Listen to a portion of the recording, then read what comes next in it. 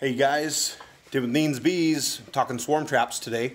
Uh, so here we go. Uh, I, I, had done a video, uh, two videos earlier, um, that I was going to throw in two parters. Um, and then I remembered one of my subscribers is always leaving comments like, dude, turn your phone sideways. Uh, so I deleted them because I didn't have my phone sideways. So anyway, today is May 31st. Um, it's Thursday, May 31st, and I'm off because I worked Memorial Day and I took my three dayer at the end of the week. Um, checking for some honeybees here. Our new new hives, and I don't see any. So anyway, talking swarm traps real quick. It's beautiful today. Uh, 65 degrees, little little cloudy, but not a breath of wind. And so I might get in some hives later. But um, I've had these pots, these peat pots, sitting around that I got from a buddy of mine who owns a nursery. Um, and they are 12 by 18s. I'm sorry, 18 by 12s, I guess is what they call them. 18 by 12s, and they are from Western Pulp. And if you can read that number, because I can't, uh, it's on there. Anyway, um, so what I did was I took some of, this is just going to be a real quick one. Took some of this window foam, okay?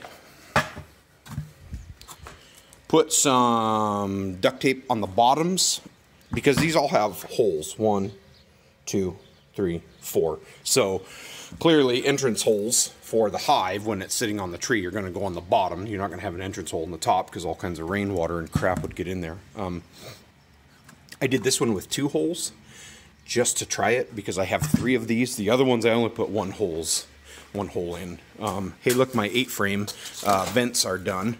Another, that's a different video, remember? Anyway, these ones I only put one hole in.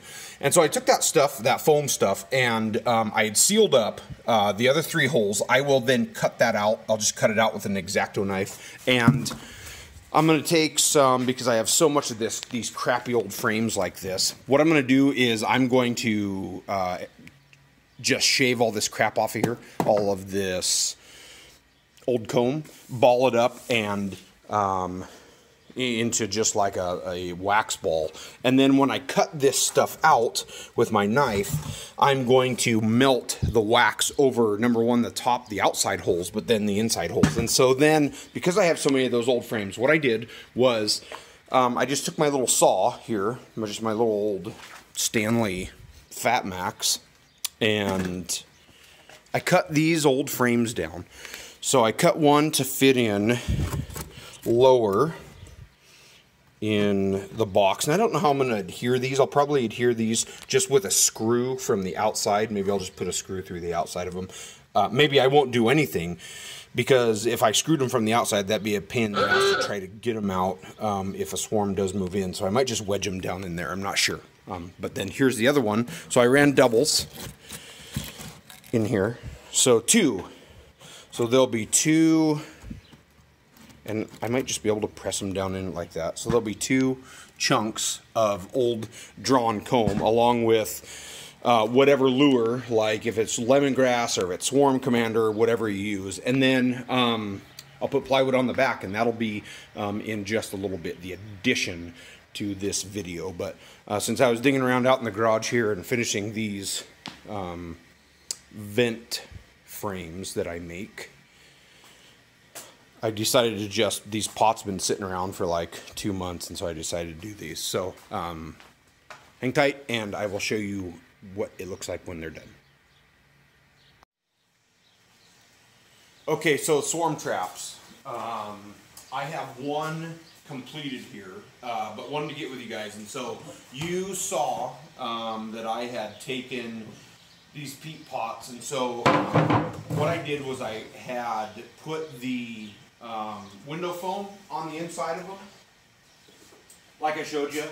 And then on the outside, I put some on the outside, but I cut it all off too. And so you've got to cut that window foam off. And then I had a bunch of old beeswax. And so with the old beeswax, I just took, fired up my torch, grabbed an old pair of needle nose pliers, and then I, because I didn't want any of the, I didn't want any of the window foam um, around the, you know, kind of in the with the bees there. I just melted a bunch of wax. I had just got a bunch of old balls of beeswax, and if, I'm sure that you guys have got them around too. And so um, I just melted the beeswax over the window foam to seal it up just even tighter, but to obviously give it that much more of a smell um, of the bees. Um, and so what we'll do is let that dry real quick.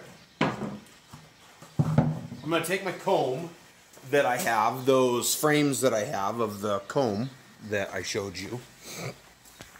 And so I made three different styles of pots. I left one with just a drain, just one original drain hole. I did another one with a drain hole on the bottom and then I took my little hole punch and I punched one just directly in the center here.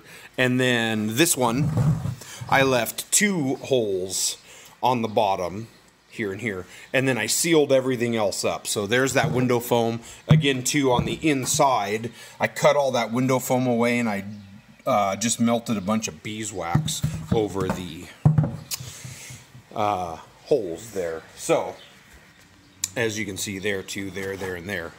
So then here's that old comb that I have. So I've got one piece that's a little bit longer and I got one short piece and one long piece. So here's a short piece, and so my short pieces um, just kind of cram, I'm just cramming them down in here. Uh, I had talked about drilling them out. I'm not going to drill them out, uh, or I'm not going to even um, try to adhere them in there uh, because they would be tough to get out. As it gets warmer, this wax will help these things set up. So um, I cut my frames just at an angle, as you can see, so I can kind of wedge them in there. So there's one, and then here's another one. And I'm just going to push those down in there. Like this. there and they're they're pretty sturdy. Like they're not they're not gonna come out at all. Um, so I've got two chunks in there. Then what I'll do also is um, I'm gonna grab the old doTERRA lemongrass oil obviously. You know you guys if you watch my videos you know what I use so lemongrass oil is going on a few dabs here onto the wood obviously.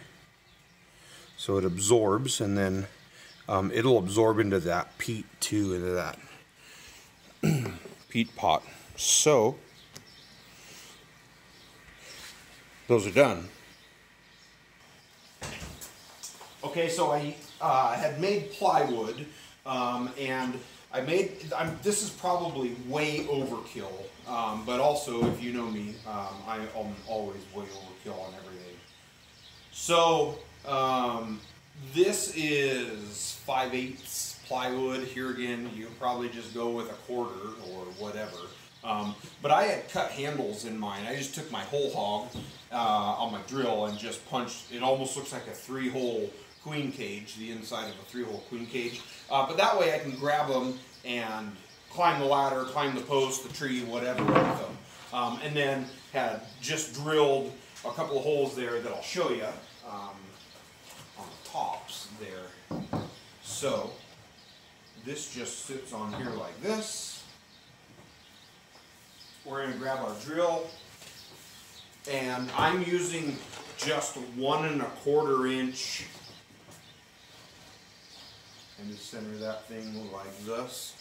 I'm using one and a quarter inch uh, just deck screws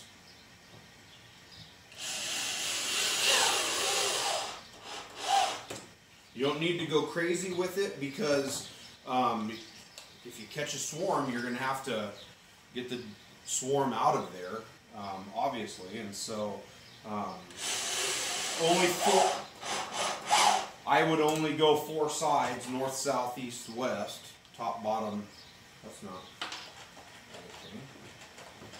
top, bottom, side to side.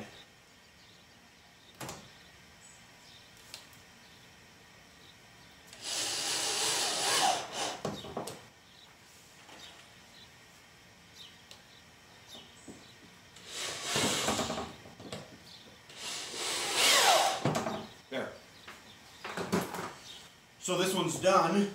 So here's our handles for it. Um, again, probably a little bit heavy, but you can move the thing all around wherever you want.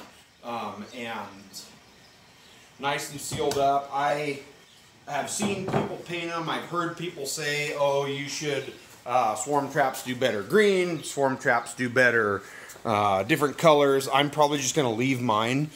So then I took, I drilled a couple holes here uh, just because you never know what, if something's going to be taller or shorter, or where you're going to have to put your screws when you're out in the field. And then um, I'll be able to strap, uh, put a ratchet strap around the outside of these too if I need to. And that's it. Um, so we'll I'll put up a video and see how they work. But I just wanted to share the rest of my swarm trap building with you. If you have any comments, ideas, likes, dislikes, let me have them. Love to hear from you. Thanks for watching. Tim with Neens Bees.